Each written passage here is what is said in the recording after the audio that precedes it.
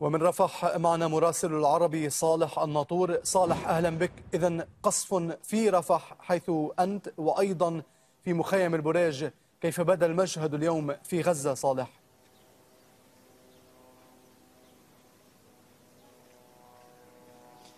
يعني لا شك أنه مشهد دامي لأنه نتحدث عن توسع في رقعة الاستهدافات الإسرائيلية في غضون ست ساعات فقط. نتحدث عن خمسة منازل تقريبا تم استهدافها من قبل قوات جيش الاحتلال الإسرائيلي في منطقتين في منطقة مدينة رفح وكذلك في مدينة غزة. ما لا يقل عن 20 شهيد فقط في مدينة رفح ويتوقع أن يكون أو أن يزداد العدد لأنه عمليات انتشال الشهداء لم تنتهي.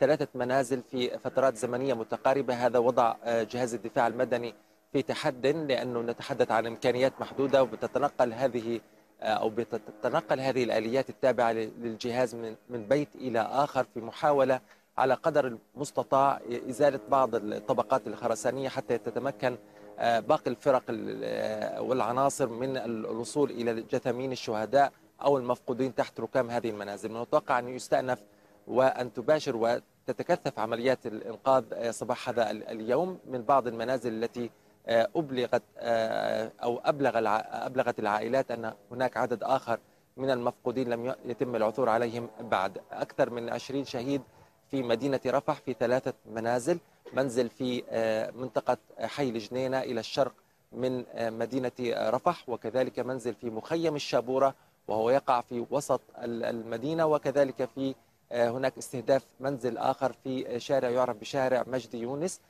هذه ثلاثة منازل تم استهدافها على فترات زمنية متقاربة نسبيا وبالتالي هذا ما عقد وصعب المشهد. لا شك في في عمليات الإنقاذ وكذلك من حيث التعامل مع المصابين الذين وصلوا إلى سواء إلى مستشفى الكويت التخصصي هنا أو إلى مستشفى أبو يوسف النجار في المنطقة الشرقية من المدينة.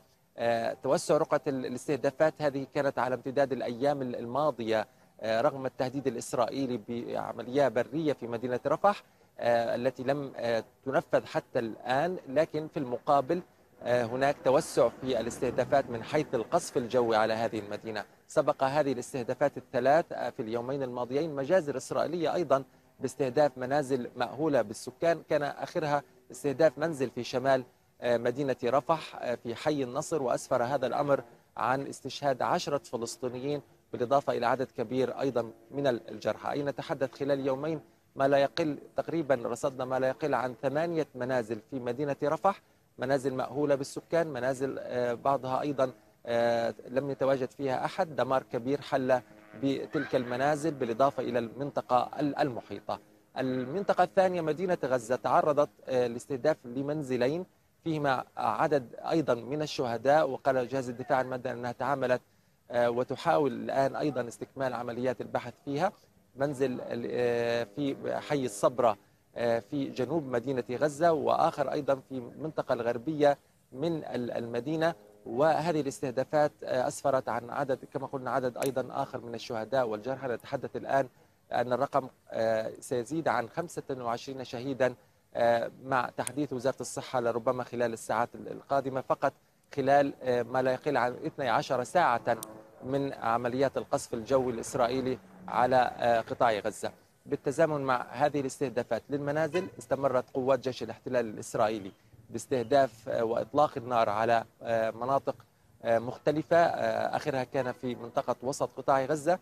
شمال مخيم البريج يتعرض قبل لحظات إلى عمليات إطلاق نار من قبل آليات عسكرية إسرائيلية وقصف مدفعي بالإضافة أيضا إلى منطقة شمال مخيم النصيرات المنطقة التي باتت بشكل شبه يومي ويبدو على مدار الساعة تتعرض لعمليات قصف مختلفة إما غارات جوية إسرائيلية وقصف مدفعي من قبل القوات الإسرائيلية. على صعيد ردود فعل الفصائل الفلسطينية والمقاومة الفلسطينية كان الحدث الأبرز يوم أمس مع تبني الفصائل عمليات إطلاق عدد من قذائف الهاون باتجاه موقع نتساريم أو محور نتساريم التي تتواجد فيه القوات الإسرائيلية. الأمر الذي أسفر عن قتلى في صفوف جيش الاحتلال الإسرائيلي كتاب القسام. تبنت عمليات إطلاق هذه القذائف بالإضافة أيضا إلى سرايا القدس الجناح العسكري لحركة الجهاد الإسلامي.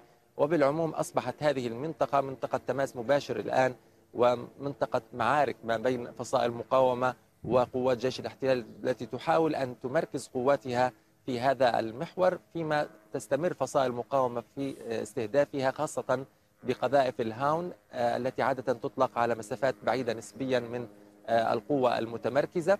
وهذه فيها رسالة أيضا آه، كما يراها الكثيرون هنا أنها يعني محاولة مستمرة من فصائل المقاومة الفلسطينية لرفض وجود هذه القوة الإسرائيلية داخل قطاع غزة ورغبتها ومطالبتها بانسحاب أي جندي إسرائيلي موجود في القطاع. هذا من جانب. والجانب الآخر هي كأنها تقول أنه لن تستطيع آه، جيش الاحتلال لن يستطيع حماية أي آه، قواعد عسكرية داخل آه، قطاع غزة.